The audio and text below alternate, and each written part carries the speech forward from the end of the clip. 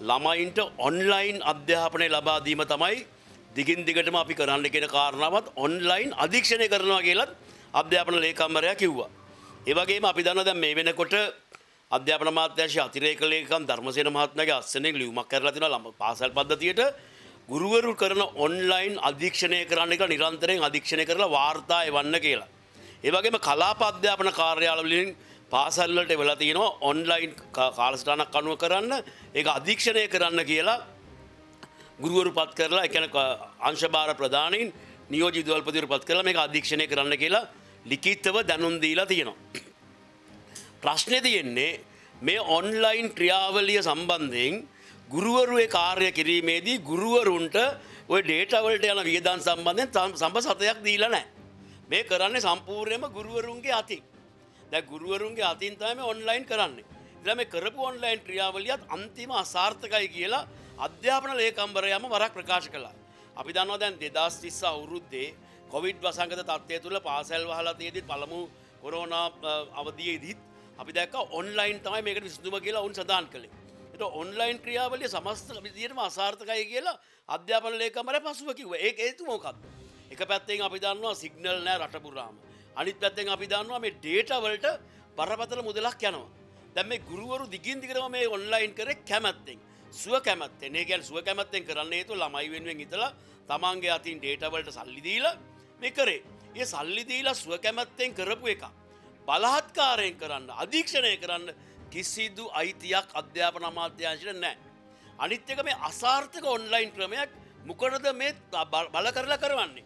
අපි ගුරුස්ති සමිතියට තීරණයක් ගන්න ඉන්නේ මේ විදිහට බල කරනවා නම් මේ ක්‍රියාවලියෙන් ඉවත් වෙන්න. මොකද එහෙම බල කරලා කරන්න බෑ. දැන් එමනම් ඩේටා වලට සල්ලි දෙන්න ඕනේ. ඒ ඒ ඒට අදාළ පාසුකම් දෙන්න ඕනේ. ඒවට අවශ්‍ය උපකරණ දෙන්න ඕනේ. ඒ කිසි දෙයක් නොදී ගුරුවරයාගේ අතින් උපකරණ ටිකක් අදාගෙන අපි දැක්ක පහුගිය දවස්වල ලණු වලින් එල්ලගෙන ගුරුවරු මේ ෆෝන් එල්ලගෙන මේ ඔන්ලයින් කරේ.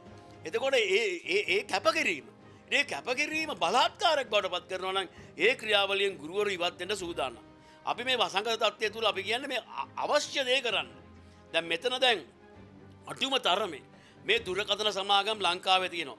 මේ දුරකථන සමාගම් එක්ක කැඳවලා සාකච්ඡා කරලා දුරකථන සමාගම් එක්ක කතා කරලා යම්කිසි ඩේට පහසුකමක් ලබා දෙන්න අධ්‍යාපන බලධාරීන් කටයුතු කළාද නැහැ.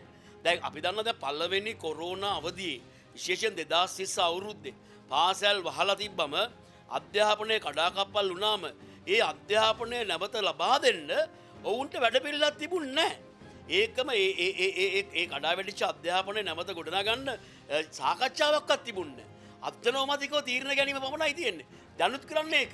දැන් අපි දන්නවා දැන් අපි ඉල්ලීමක් කර අඩු ගානේ ළමයින්ගේ නිවාස වලට ස්ටඩි පැක්කයක් යවන්න. ඒක නෑ ඉගෙනුම් කට්ටලයක් යවන්න. එවැනි ක්‍රියාවලියක්වත් කරේ නෑ. ඉතින් එකම දේ අසාර්ථක ඔන්ලයින් ක්‍රමේ දිගින් දිගටම කතා කිරීම. ඉතින් මේක ඇත්තටම අසාර්ථකයි. කරනවා නම් කරන්න දින ප්‍රධාන කාර්යය තමයි අඩුම තරමේ. දැන් රූපවාහිනි මාධ්‍ය ලංකාවේ රූපවාහිනි සාක්ෂරතාවයේ 80%ක් විතර එද රූපවාහිනි මාධ්‍ය පාවිච්චි කරලා ළමයින්ට ඉගැන්වීමේ ක්‍රියාවලිය අපි දනා මේ වෙලාවේ අතරිස්තුන් ලක්ෂයක් ළමයින්ගේ අධ්‍යාපනය සම්පූර්ණයම අතර වෙලා තියෙන්නේ. එතකොට මේ රූපවාහිනි ආයතනවල ප්‍රධානින් මාධ්‍ය ප්‍රධානීන් කැඳවල සාකච්ඡා කර අපිතන සමාර මාධ්‍යායතනවලට විශේෂයෙන් නාලිකා දෙකක් තුනක් තියෙනවා. ජාතික රූපවාහිනියක් තියෙනවා අයිටිඑන් එකක් තියෙනවා. එතකොට මේගොල්ලන්ට පුළුවන් නම් ඒ ඒ මහල්ේ නාලිකා ප්‍රධානින් කැඳවල සියලුම නාලිකා ප්‍රධානින් කැඳවල සාකච්ඡා කර ළමයින්ට විදිමත් කාලසටානක් අනුව රූපවායිනි වැඩසටාන් කරන්න පුළුවන්නම් මෙන්න මේ නාලිකාවල මෙම යන්න කියලා මේ ක්‍රියාවලිය සාර්ථක වෙනවා. එම නැතුව අසාර්ථක ඔන්ලයින් ක්‍රමේ තමයි කොකටත් අයිලට පාවිච්චි කිරීම තේරුමක් නෑ. අපි දන්නවා මේ වෙන කොටත් සමාර ප්‍රදේශ ලොක්ඩවන් මේ ලොක්ඩවන් කරපු ප්‍රදේශවල අපිට ළමයි කතා කරලා කියන්නේ. මොකක්ද ඩේට කාඩ්ඩයක් ගණ්ඩවත් යන්න දරන්න.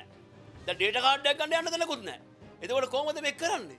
ඉති මේ අධ්‍යාපන දැ ලොක්ඩවන් කරන රූපවායිනි මාධ්‍ය වැඩ කරන ඩේට ඕනි ඔන්ලයින් යන්න.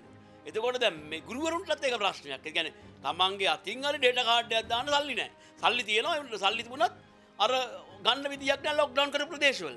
ඒක නිසා මේ වගේ අසාර්ථක ක්‍රම බහාම අතෑරලා පැහැදිලිවම කළහැකි ක්‍රියාමාර්ගය ගන්න කෙළ අපි කියන්නේ අඩුම තරම අපිට අපි දන්නවා දැන් යම් කිසි විදිියක පුළුවන්නන් ඉගඩුම් කට්ටල යවන්න ඒ ක්‍රියාවලිය කරන්න. ඒවගේ අපි දන්නවා දැන් විශේෂයෙන්ම මේ ඉගැන්වීම සම්බන්ධයෙන් විශේමාලා පරිවර්තනය. දැන් අපි දිගින් දිගටම ඉල්ලපු දෙයක්ත්තම යෝක. මොකක්ද දැන් ගිය අවුරුද්ධෙත් මේ අවුරුද්ධෙත් ළමයින්ගේ බෞද්ධික වැැවිල්ල පාසලේ අධ්‍යන කාලයක් කරන්න ඇකියාවක් නැහැ. ඒ කාලේ අඩු වෙලා තියෙන්නේ. පාසල් පවත්වන්න ඕන දින දෙසිය දායක් දින දෙසිය දායකට තමයි විශේමාලාව අදලා තියෙන්නේ. එතකොට විශේමාලාව කළ හැකි මට්ටමට ඒ විශේමාලාවේ කොටස් අඩු කරලා විශේෂන්ධාරය අඩු කරලා යම් විදියක ළමයින්ට දරාගත හැකි ඒ කාලෙට ප්‍රමාණවත් විශේමාලාවක් සකස් කළ යුතුයි. අද වෙන්නකං එවැනි විශේමාලාවක් සකස් වෙලා නෑ. දැන් කොච්චර කාලයක්ද මේක.